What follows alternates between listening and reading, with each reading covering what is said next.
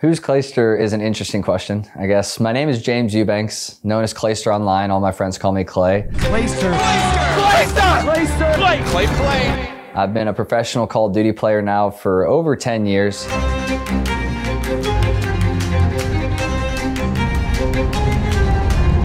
And uh, been playing for a super long time and streamer on the side, YouTuber on the side, but mainly, mainly a pro COD player.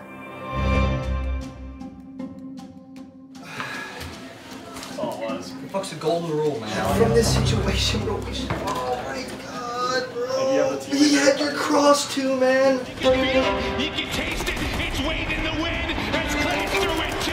This one is done. But like that's the only I'm other trying to thing fucking. I'm trying to cut the people that are reinforcing you. Not talking about this shit right now. Three-time world champ, he is here in his 14th season. You know, I want to go out with a bang, not a whimper, right? Glad I'm back, I'm fighting. You know, I'm just happy to be here. Do you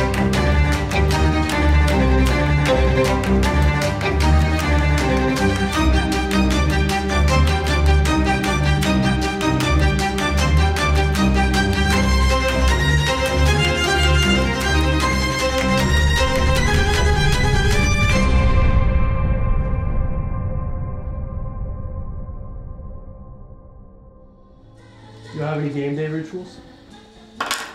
Really I ritual. want to say ritual, just like uh, you wake up, you ease into like getting ready for the day, you get a little bit of caffeine and you, shower, get some food in you. Then like your next step from there is kind of like getting ready to go ease in and warm up. And then what we'll be like warming up like two hours before a match. Yeah, yeah, like two, two half. We usually do. You don't want to lock in too early because like you play a lot of warm up scrims and stuff, and you only play one match a day. So like sometimes you can't like you play too many warm up maps, and you go into the match and like you play it like a warm up. So like you have to you have to get enough warm up in, but still differentiate you know your warm ups from your your one match on that day. Yeah, I mean, some wins are sweeter than others, but we approach all the teams the same. Like, we prepare the same way, we see them the same way. Like, obviously, beating some teams feels better, but at this point for us, we're just trying to get like any any wins we can get. So, if we get any wins, we're happy with that. Nice. The origin stories of my Call of Duty career is actually pretty interesting. I was a Halo kid through and through, played Halo 1, Halo 2. Uh, first MLG event I ever went to was a Halo 2 event. It was Meadowlands. Really fell in love with that game and competitive shooters in that game, uh, specifically 4v4, you know, joined my little clan in Halo 2. And Halo 3 came out, grinded it a lot, but that was right about the time where you know, video games were having kind of a really cool explosion with like Gears, COD, Halo. The long awaited video game. Major multiplayer aspect. It's exhilarating, man. It's an experience.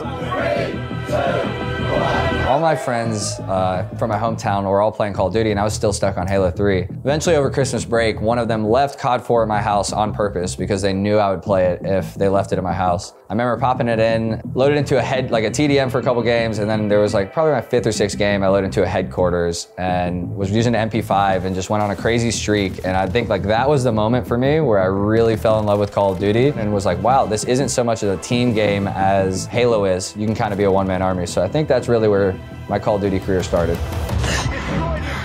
Well, why don't we check out uh, Clayster and see how he handles this pressure right now? Yeah, Clayster takes out Sidrock, so now really good shit. No, get shit on. They're gonna keep up. Blue, good job. Let's go, yo. Go! Let's go! One versus Oh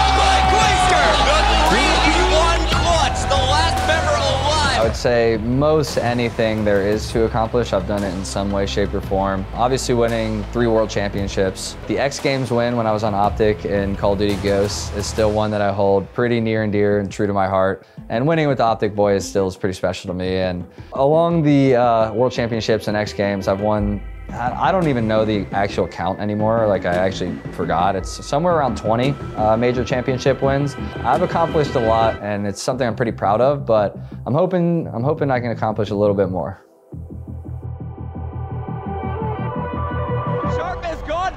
Complexity, has taken another MLG title. Probably the most winning team in the history of Call of Duty. I mean, winning seven out of eight or whatever it is at this point. I mean, ever since they picked up Clayster, they've been in the finals every single match. There's some crazy, crazy shit going on with the pro teams right now. Clayster was dropped from complexity, which to me is like the dumbest thing ever. After all the success we had seen, the entire way through, I was kind of like the punching bag in a way where I would just like take it all in and not really fight back. The getting dropped from teams issue that I have always had. Uh, you know, I wish I could put my finger on it. It's Optic Clayster. Just devouring There, everyone. nice shot. Here. Clayster's gonna get he it. gonna get it. He does Two get kill it. Party Esports. Clay stands up. And he gets the kill. And Optic Gaming wins it. X Games gold medal champion. You know, I don't know really where to start with this video. Uh, basically, they told me I was I was off the team because you know I've worked my entire Call of Duty career to get to Optic Gaming. To be dropped from the team, you know, it's kind of like a dagger. So they dropped me uh, through uh, envy to denial. I went early season, and we ended up matching up round one against Optic at Champs, uh, which was like the craziest matchups. The number one, number two seeds. We were number two, they were number one. Dropping Clayster's scary because a dropped Clayster's better than any other one we've ever seen, and he just he just becomes like a psycho. He becomes so obsessed with with being better and winning and That's his 29th, looking for the 30th. Clayster's got 30 kills. Can he get another one? Yes, he can. Play lighting up Hardpoint Detroit. Denial Esports shocked the world by upsetting championship favorite Optic Gaming in their round one match. We end up beating them, and I put out the tweet, you know, throw me to the wolves, and I'll come back leading the pack. You- did you see that Clay tweeted out, throw me to the Wolves and I'll come back leading the pack? So he kind of like, yeah, that was the shout out to Optic and Envy. You know, we haven't won in 19 months. You need a change of pace, you need some fresh scenery, you need some new voices in your headset. I think I'm just a polarizing person, especially the competitive side of me. I can say things very honestly and truthfully that upset people sometimes. You know, if we actually sat down and went through each individual time where I feel like I was slighted or fucked over, throughout my entire career, we'd be here for quite a while. We knew we had to make team change. We knew we had to make a change that would better the team. So it, we talked about it openly. We said dropping Clay for Gunless or trading Clay for Gunless would be the best for both. You know, hopefully I can eventually just stay on one team because that's what it's all about. Like, I'm almost a little tired of building brands for organizations and then just kind of like not getting anything in return. Like, no equity in the company, no reciprocation. Like, when it comes to like long term holdings, it's really just I'm like building up other brands just to get dropped or traded away eventually. So it's a little tough for me in that aspect. Uh, but honestly, when it happens to somebody as much as it's happened to me, you have to hold yourself accountable in some way, shape, or form. I mean, if you're the common denominator in a situation that keeps happening, then it's time to like look at yourself. I think something that that's something I've tried really hard to do over the last few years, especially towards my uh, the end of my time on E United. Uh, and I think since then, it's been more frustrating political stuff. You know, winning champs with the United, oh, it goes franchising, oh, the team splits up. I couldn't have asked for more. We all have rings now, and we achieved our goals this year, baby. Winning champs with Empire the next year. Oh, you know, it goes 4v4. You know, I'm the odd man out. Three young guys in Crim. The 4v4 announcement came in, and barely 48 hours later, Clayster has been removed off the squad. New York, visa issues, Zuma retiring, uh, Hydra didn't speak English. And then going to the next year, we get Crim and Neptune. The team is a miserable failure. I get benched. Like, there's like, it stacks up, and it's, it's, some of it is my fault, and I hold myself accountable for being that kind of polarizing person, especially when the team isn't doing well. But I've also really tried to work on it the last few years, and it's just really frustrating that it kind of still happens even after I've tried to be a better teammate, be a better leader, be more understanding, be less abrasive. And so, you know, I had, I do think I have gotten fucked over in, in a few situations that were out of my control. It's just the circumstance and, and just the situation. Like it was kind of just what had to happen. But I also think all that adversity that I've had to face throughout my entire career has been a big driving factor into why I achieved what I achieved.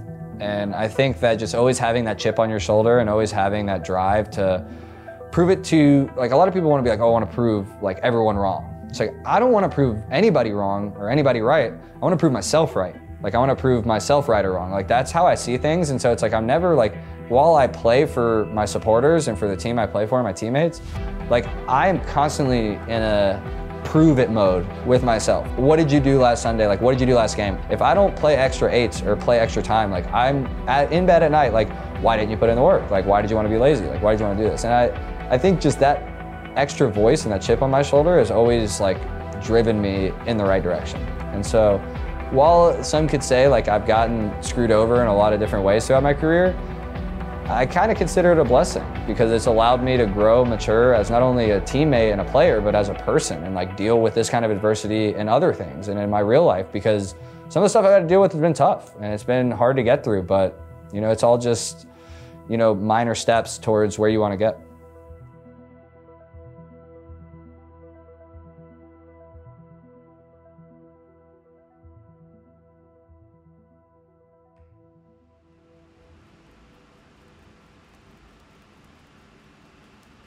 Our hard points, win our D's and shirts. Let's go.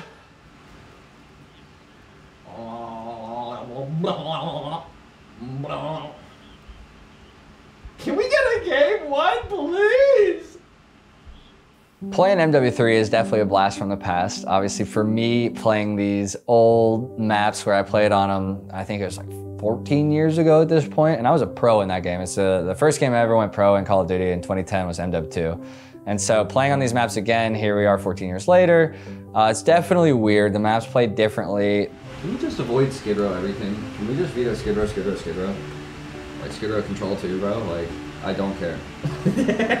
Can we just veto Skid Row, Skid Row, Skid Row, please? Can I just not play this shit map, dude? There's still, at the beginning of the game, I was like, kind of like muscle memorying into angles and spots. And I'd be like, why am I here? And I'd like look to my right and there's like a really cool angle you could see. So there was definitely some like novelness in that and like knowing just a little bit at the start.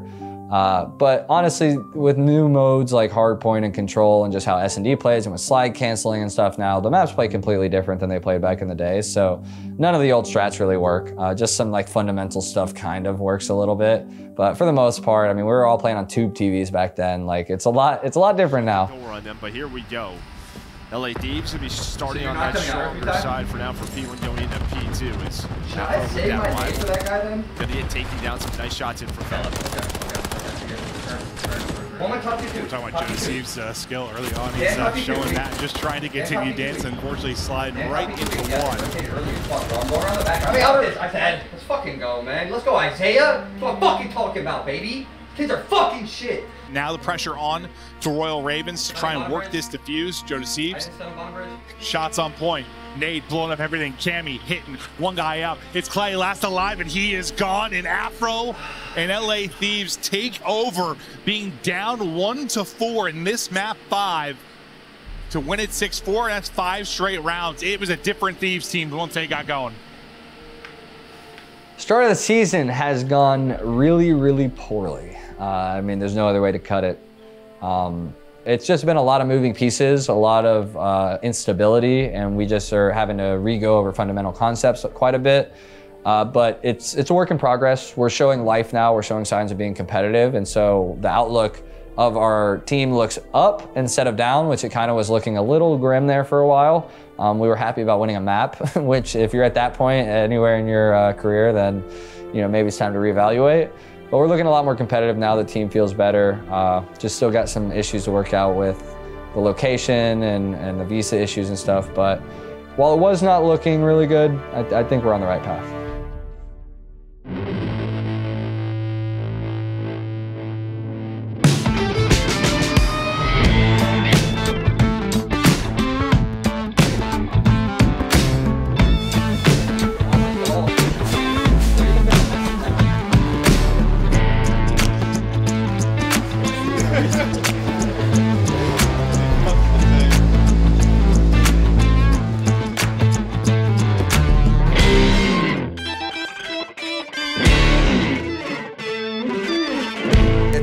Showing up to an event and not playing on the first day. Obviously, being in losers bracket, that means we didn't play on Thursday. We just played on Friday.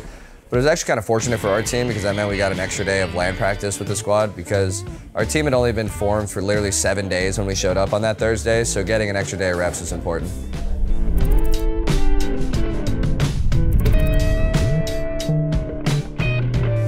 Obviously, COD tournaments never go the way you expect them. We played the loser of Minnesota, New York, and New York looking as good as they did online, and being defending world champs, uh, supposedly pack a punching and stuff. We figured that you know New York could probably win this series. It's guys, he's so far away, trying to get his run on, but no, but I think Minnesota came out and 3 0'd them, and we ended up having to play New York first round. So it was definitely a surprise to us, but also I think it was a good test for us because it's like, hey, if we can beat New York, we can probably beat a lot of these other teams. So it was a nice challenge to, to have them first. New York it is. They're checked. That was a very checkable series, bro. oh my, yeah, I thought ours was bad. That made me, that was worse. That was way worse. They just got three chances to win a control, two worse. chances to win a hard That was point. way worse That was an insane 3-0. I said I played in New York, my first event when I joined Florida last year in losers, and we beat them. They lost 3-0 winners, and then we played them the next day. This kid used to just take my. We we used to play S and D tournaments together while he was 13, and he would just come home from school and just re- just farm us. I was literally just donating to him for like a year. Fellow was my credit sponsor back in Black Ops 2. Yeah, I used to. Oh, we would run 2v2, so I was like, he was so good, I was paying for him. He's like, "Send me the credit card." Here, fuck it, Yeah, we're about to get some food with the boys. Uh, we had a really good day of scrims yesterday. Um, today we started off a little sluggish, I would say, um, and then going into our warm-up scrims, which you know our teams that are playing winners bracket today, I feel like we really turned it around and kind of found our tempo again for today, which is uh, you know really good going into tomorrow. Um, the only thing that probably I would say is a little bit of a change up from maybe our expectations is I don't think anyone necessarily expected New York to get 3 0'd. Um, 4 but- 0'd even. Yeah, four. Some may even say 4 0'd. Uh, but nonetheless, we're going to be prepared for no matter who we play. Um, obviously, they're a really good team. They picked up Sib this year. But at the end of the day, bro, I think we have what it takes to beat them. I think we're one of the best respawn teams right now. So as long as the work that we put in in S&D over the last week translates to our matches, I think we'll be all right. Thank you, Tyler Felony Johnson. Indeed.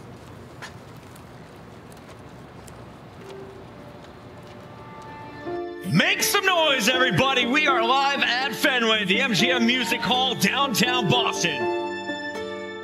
At the end of the day, COD is COD, and I think that people put too much weight on who the top teams are and the bottom teams are. I think it's a any given Sunday thing where legitimately any team can beat any team. Left and middle, so like we should never be losing. Yeah, we should never be losing that side of the match. He just said it was his fault. It's fine, but I'm saying like that comes like Someone should have filled in P2. It doesn't matter if the team is number one, team is number 12, or anywhere in between. Like anybody can beat anybody if they're playing well on the day.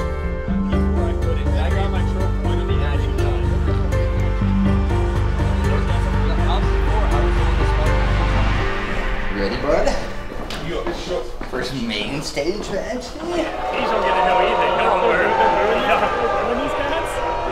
We win them? Yeah. We got crowd buff, bro. For the first time, the Carolina Royal Ravens. Joke, the last couple series we've casted for them, they have come out and fought. Now, they've gotten to a map five each time where they have fallen short, but they've been playing people tough. The respawns have looked good. We'll see if Felony and the lads can get going early. He is playing with so much hype, so much energy. Game on its head, just completely shifting it and going nuts. And speaking of going nuts, it's Gwinn with the pistol. That is banging right now. MCW. Here we go, baby. Just five to go. He's able to take out one. Gwinn, good job. Is getting on. Friendly Clayster is roaring. It's a map one victory. And then Fellow's able to work the pick, and Fellow's going to find another one with the angles. Look at the play calls, how confident they are with the way they're playing this map. If you are Royal Yeah, but Ravens, they're gonna start to track back on the other side. Sim is going to get dropped. Wants to get involved. Fellow winning another. Skyz now left alone, trying to get there in time. See if he can just get him off it. Can he get him? Not gonna happen. 2-0 edge to Carolina. Map four. Terminal underway. Ravens, I'm like, you're tracking it. Hold on now. Terminal trying to get Hold on now. Start to line it up. It's where you were subliner. You had a chance to run away with it.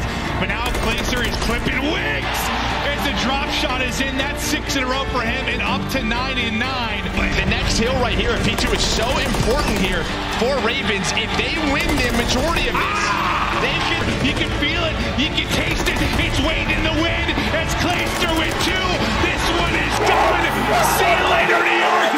no fucking shit.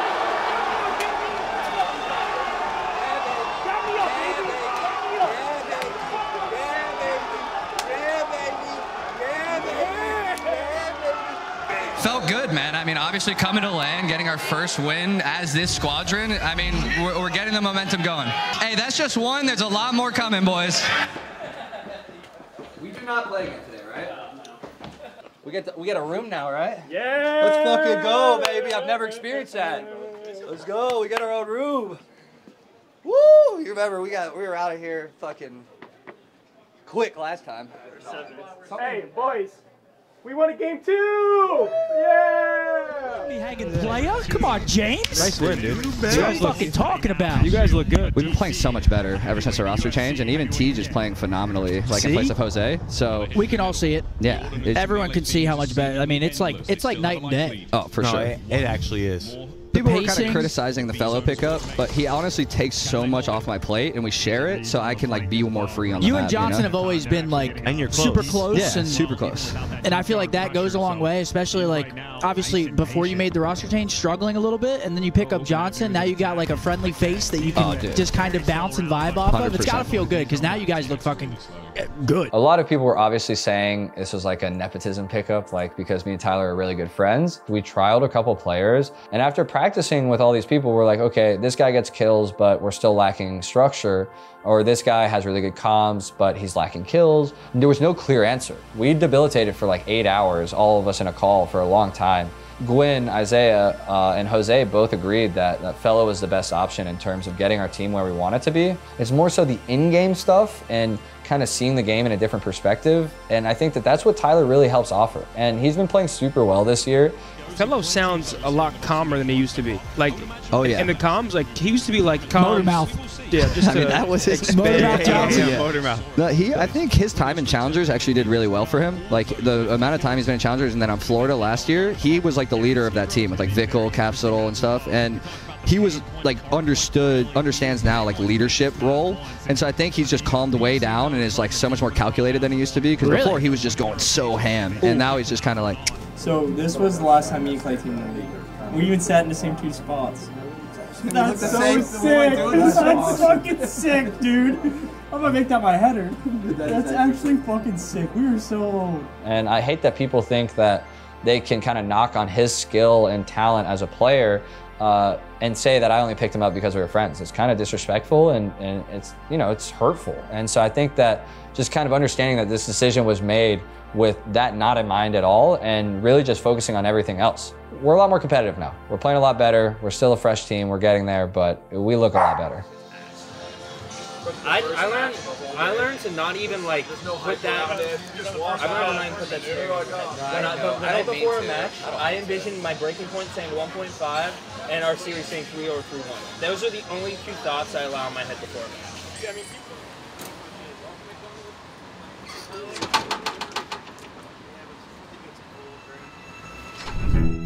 We're here day three, and so is Clayster. That's the biggest surprise for me. The man in his 15th year has led his team into the final seven. Our mindset after the New York run is that we were winning the whole thing. Uh, I honestly thought with the way we were playing respawn and how close everything was looking, uh, how tight everything was looking, I, I thought we stood like a pretty good chance in terms of like actually winning.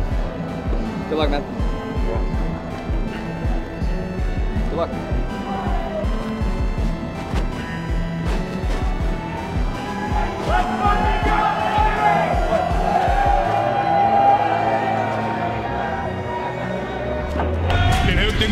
Going, will Clayster and the lads keep this Cinderella run going? How much better TJ is in this title? Cut nearly down in front, pushing out the cuts. Royal Ravens come in and strike first. Clay gets eyes. Clay sends it, tries to get to the bump. Eddie, stun gonna go out. To round five we go. You're gonna have to win this if you were Carolina on offense. Four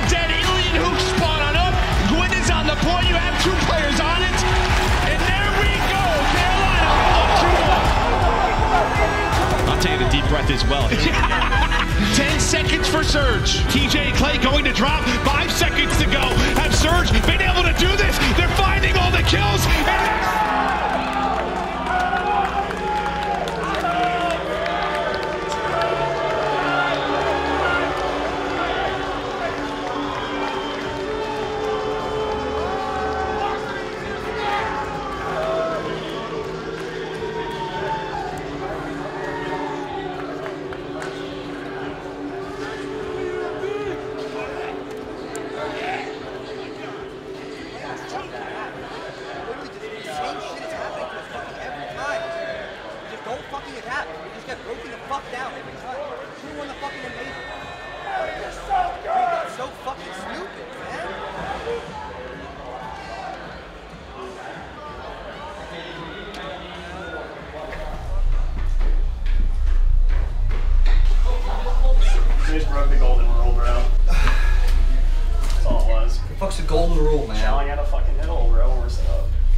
Chowed out of this fucking in Q4. Bro, like from this situation, bro, we should, oh my god, bro. He had your cross too, man. And I got the third kid. Bro, what are we doing? Oh, broken right there. bro. Like literally, we win here. I killed the kid on pinch too. This is the last fuck. That was over, yeah. Oh my god, bro. This point, and then we get fucking two piece because we get double fucking stunned, man. And you should be looking ladder from here, bro. That we knew this kid was the last one here. If you're front DVD, you can see this ladder hop. I was looking at ladder. No, he climbed it. Look, if you're front DVD right know, here. Maybe I was stunned or some shit. No, look, you look at the street. If you just sit here and look at Yes, this. yes, I didn't know he was hitting ladder. You guys are in a fucking 2v1 and you're screaming out we're flying at him. So no, I didn't look ladder. But like that's the only I'm other trying to fucking, I'm trying to cut the people that are reinforcing, dude. I'm not talking about this shit right now. Won the game fucking 12 different times.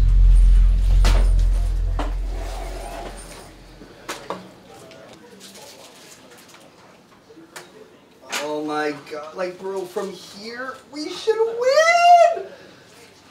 Oh my god.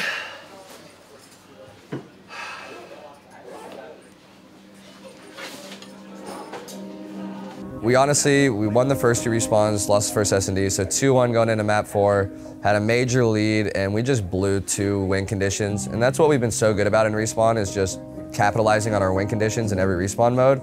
And we were so close and had it like, it wasn't anybody's fault, like we all made a mistake that could have won us the game. It was just devastating to lose by like three or four seconds going into a map 5. We were just kind of deflated and we just kind of knew our S&D wasn't where it needed to be. So uh, kind of shot ourselves in the foot there, but we just didn't have a lot of time. On our last break, we had one break and no one waited.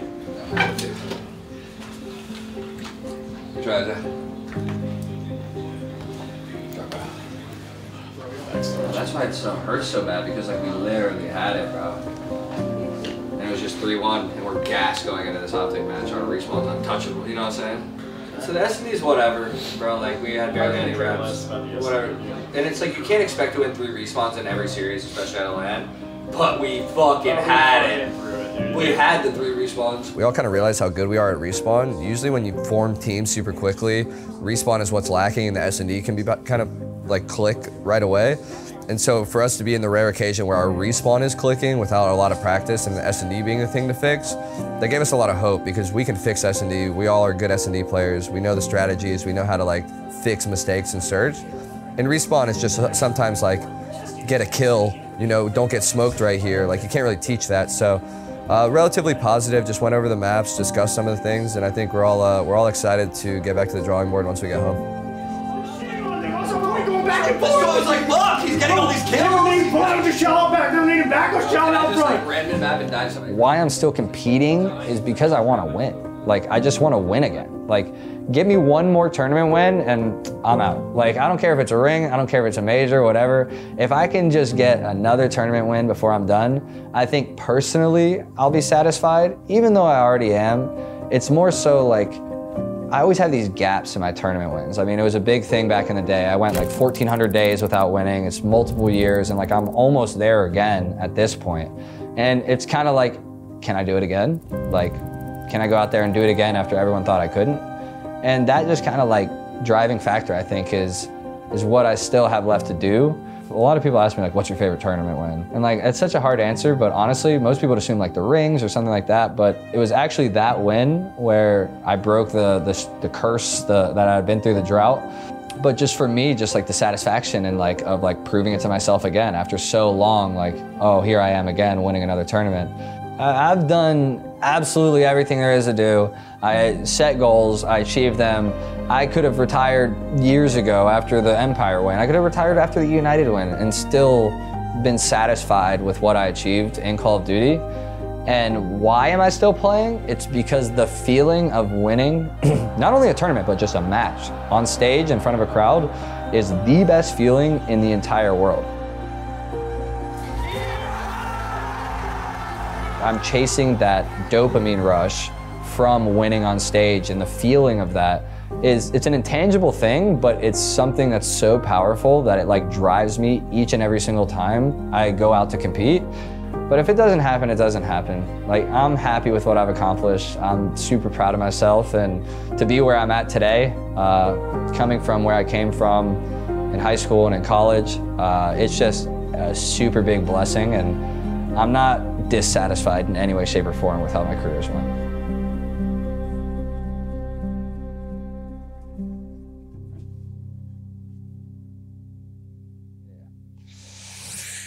Legacy is a crazy word, and I think that when people ask me, what do you want to be known for? Like, what do you want to accomplish when it's all done? I mean, to be known as one of the best, most successful, most accolades, like whatever, however you want to quantify it, one of the best of all time, uh, that's what I want. And I think I've accomplished that. And I think like no matter what, if you ask me what my legacy is or what I want it to be, I think I've already established that. Just one of the best of all time. Considered in that conversation, top five, just up there. I've raised some kids in the scene who are now some of the best in the world. And just to see my trees and my branch go out, man, I think uh, it's a special thing. Fuck you, Olive. and Olive agrees. Fuck you. Right. I'm sure some of that's going to be unusable, but